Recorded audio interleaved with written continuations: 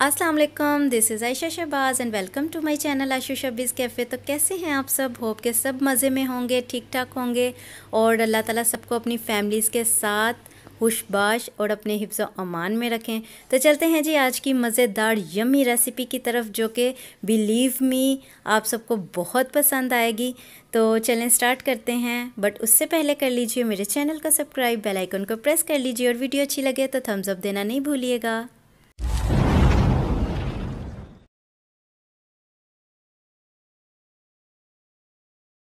सबसे पहले मैंने आलू ले लिए हैं छः आलू लिए हैं और ये साइज़ है आलू का और इसको दरमियान में से मैं जस्ट इतना काट लूँगी।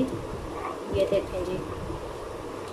ठीक है, और आप चाहें तो इसको भी दरमियान में से काट सकते हैं। मैं टू पार्ट्स में डिवाइड कर रही हूँ आलूओं को।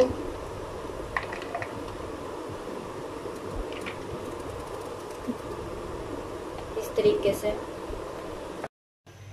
आलूओं को मैंने धो के छीला था और बाद में मैंने उन्हें वॉश नहीं किया, इसलिए ये जो है बिल्कुल ड्राई हैं।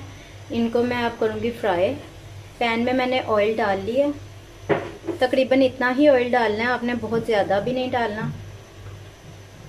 और इसमें मैं आलूओं को डाल रही हूँ और गोल्डन कलर आने तक फ्राई करेंगे इन्हें, दोनों साइडों से।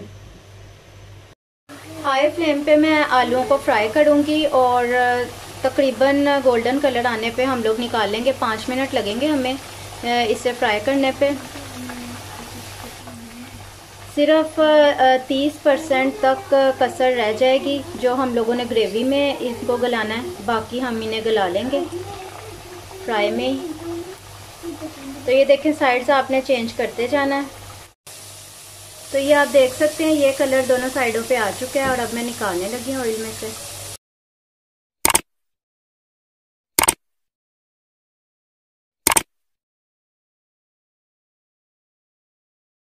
जी तो मैंने टू से two and half serving spoon तक ऑयल इसमें रहने दिया पोट में और इसके अंदर अब मैं वन टीस्पून ज़ीरा ऐड कर रही हूँ साबुत।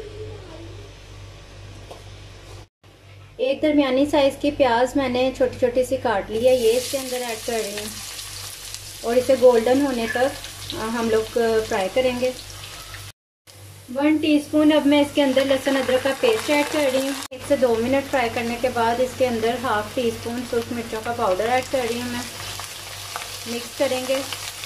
अब इसके अंदर शामिल कर रही हूँ मैं दो टमाटरों का पेस्ट है ये। ये शामिल करूँगी। हाफ़ टी स्पून इसके अंदर हल्दी पाउडर ऐड कर रही हूँ। और आधी छोटी चम्मच ही धनिया पाउडर हाफ़ टी स्पून गरम मसाला पाउडर। इन मसालों को बहुत अच्छे से मिक्स कर लेंगे। वन टीस्पून इसके अंदर जी मैं डाल रही हूँ सब्ज़ मिर्चों का पेस्ट। आप साबुत सब्ज़ मिर्चें भी दो इसी तरीके से डाल सकते हैं या काट के डाल सकते हैं। और अब इसके अंदर मैं शामिल कर रही हूँ जी दो टेबलस्पून तक दही। और मिक्स कर लूँगी इसको मैं। डाल के मैंने मिक्स कर लिया है और अब इसके अंदर मैं थोड़ा सा पानी ऐड कर रही हूँ। तो थोड़ा सा पानी ऐड किया था मैंने दही डालने के बाद और देख रहे हैं आप मसाला कितने अच्छे से भुन रहा है। तेल जो है हमें ऊपर नज़र आना शुरू हो चुका है और अब मैं इसके अंदर फ्राई आलू डाल रही हूँ, जो हम लोगों ने फ्राई करके रखे थे। और अब आलू को मसाले के साथ बहुत अच्छे से हम लोगों ने मिक्स करना है ताकि सारा मसाला जो है आलूओं पे कोट हो जाए। और तमाम मसाले के बुनाई के दौरान फ्लेम जो है मैंने मीडियम टू लो रखा हुआ था।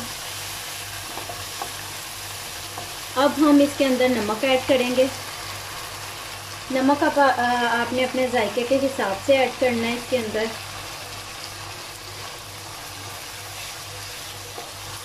अच्छे से भुनाई कर लेंगे। तो ये देख सकते हैं आप, आलू जो है, मैंने मसाले के साथ इनको भुना है। थोड़ी देर तक और मसाला अच्छी तरह इसके ऊपर कोड हो चुका है और अब इसके अंदर मैं एक कप तक पानी ऐड करूँगी।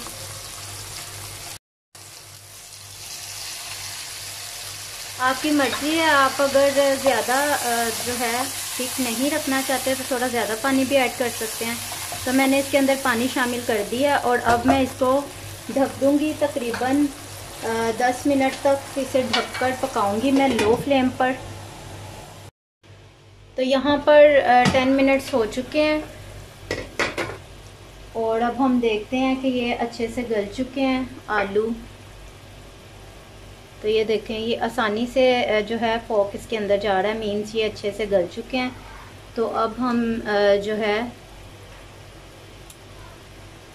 इसको करेंगे एक दफ़ा मिक्स तो ये देखें जितनी आ, मुझे ग्रेवी चाहिए थी ये उतनी ही आ, ग्रेवी है इस टाइम पर। अब मैं इसमें सब्ज़ धनिया थोड़ा सा ऐड करूँगी।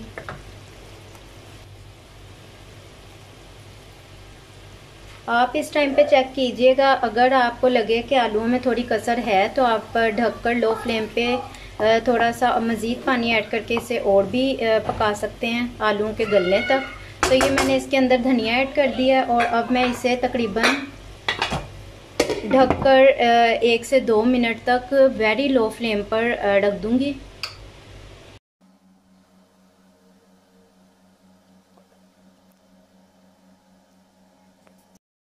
तो रेडी हैं बहुत ही यमी मज़े के हमारे आज के मसाले वाले आलू।